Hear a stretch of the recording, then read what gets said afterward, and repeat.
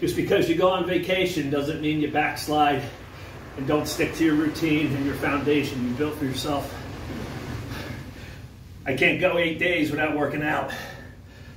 I would start backsliding again, and I don't want to do that. So, yesterday, 290 burpees. Today, we'll do over 300. Plus, I already took a long walk on the beach. It's 90 degrees out. Humidity level is 106. So, you gotta stick with your plan. You gotta stick with your routine. You gotta have a solid foundation. Peace.